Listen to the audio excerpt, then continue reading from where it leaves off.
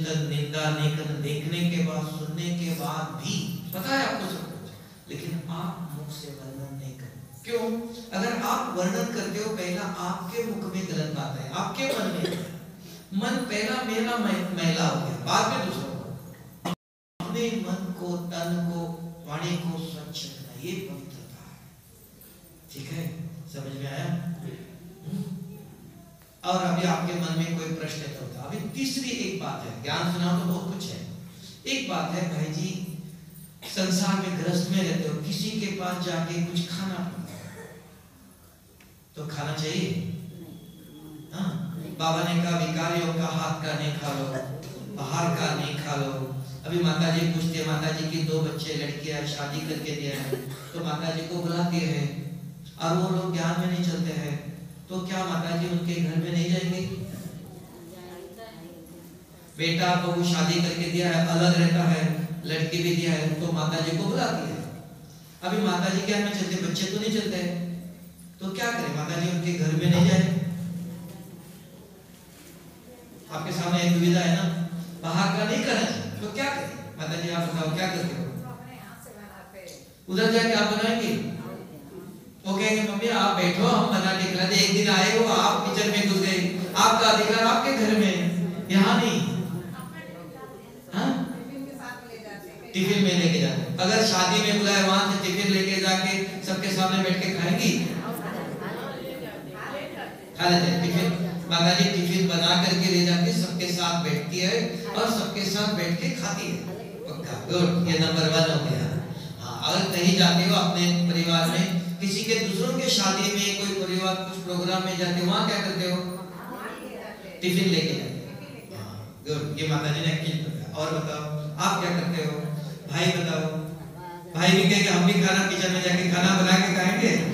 हाँ आप बताओ अगर किसी के पास जाओ तो बाबा के तो शादी में गए और कुछ प्रोग्राम होता है तो वहाँ क्या करेगा? बाहर का बाबा कहता है भिखारियों का हाथ का नहीं खाना चाहिए। है ना? बाहर का नहीं खाना तो क्या करना चाहिए बोल इलाज चल रहा है उपवास। हाँ? बोल देंगे इलाज चल रहा है उपवास है। उपवास है? अच्छा।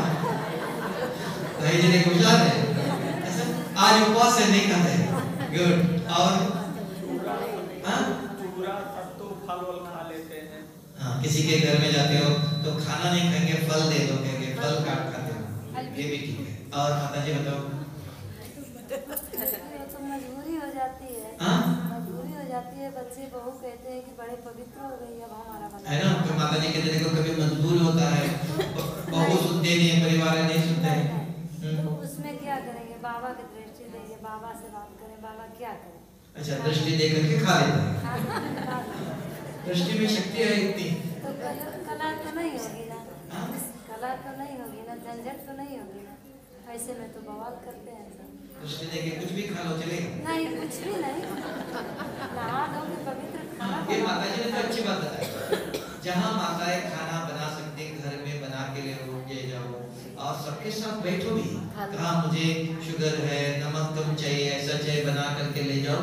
थाली में रख के उनके साथ बैठ के खा सकते है। ना? अगर कई परिवार वाले आपके पहचान आपके ही है तो जाके मैं खाना बनाते हो आप लोग बैठो सबके लिए हो। है ऐसा लेकिन सबसे नहीं सकता इस सभी से नहीं हो सकता। ये खाना और उपाय खाना तो घर में बना के सबको खिला सकते कि भाई नहीं तुम बनाओ मैं बना तुम ऊपर से दो काट दो तुम कुछ करो। कभी बाहर का खाना पड़ता है ना भाइयों को भी किधर जाते हो तो क्या करना चाहिए? अभी इस भाई ने कहा आज मेरा उपवास है कुछ नहीं खाएँगे?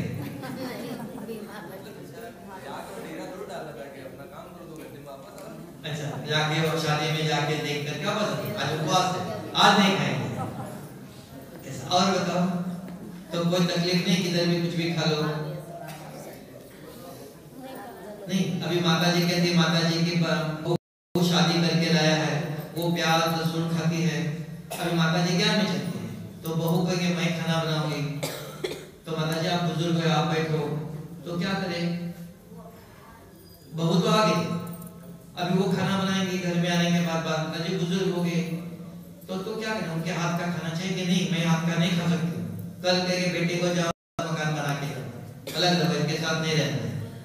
तो क्या करेंगे? हाँ? समझाना कैसे समझाएँगे? वो आएगी तो वो कहेगी, आप कहेंगे, उनको खाना नहीं बनाओ हमारे घर में प्याज, लहसुन नहीं खाते। वो पहले सोचना चाहिए ना। अभी शादी करके ला के लेके आए, तब कहेंगे, हम आपके साथ ये डाला रहते हैं। तब कहेंगे, ब्रह्मा तुम्हारे घर तोड़ते हैं। ऐसे बोलते हैं ना। हाँ तोड़ देते देखो आपके साथ में रहते नहीं है। तो क्या करना चाहिए इसका भी कुछ उपाय बताओ। हाँ? नहीं, आप बताओ, देखो छोटी जेठी बहन जी बता रहे बहन जी, आप बताओ, आप क्या करना चाहिए आप संसार में रहते हो। आप बताओ, आपके पास कुछ देखो, माता जी ने अच्छी बात बताई, भाई ने भी अच्छी बात बताई।